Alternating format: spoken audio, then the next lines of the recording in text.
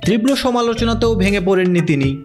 মানসিক দৃঢ়তাই তার শক্তি। ফর্মের দেখা পেয়ে এখন যেন ধারাবাহিকতার প্রতিচ্ছবি।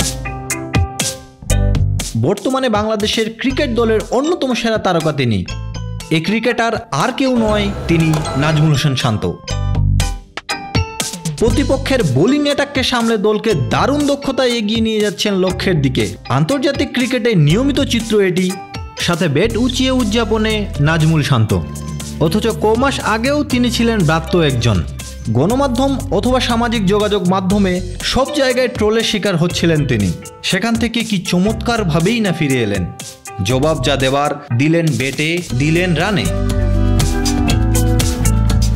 পরিসংখ্যান বলছে, গত এক বছরে বাংলাদেশের সেরা ওয়ানডে খেলোয়াড় নাজমুল হোসেন শান্ত। পনেরো ইনিংসে পাঁচশো বাইশ রান তার। গড় চৌত্রিশ দশমিক আট শূন্য।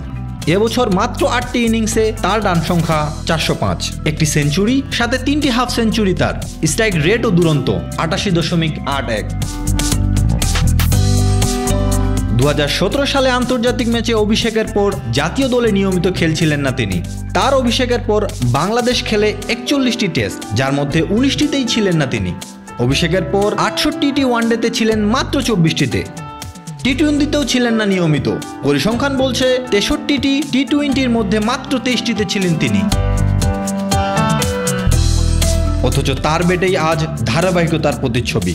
বলা যায়, শান্ত এখন বর্তমান ক্রিকেট দলের গুরুত্বপূর্ণ খেলোয়াড়দের একজন। তিন ফর্মেটেই অনন্য ব্যাটিংয়ের আদর্শ উদাহরণ তিনি। তবে সর্বশেষ আয়ারল্যান্ড সিরিজে মাঠে সতীর্থদের উজ্জীবিত করে তার নেতৃত্বের গুণও চোখে পড়েছে আলাদা করে। তাই এখন সেরা খেলোয়াড় হওয়ার পাশাপাশি দলের কাণ্ডারি হওয়ার দুরন্ত সুযোগ আছে শান্তর সামনে। পারবেন কি এই সুযোগ কাজে লাগাতে?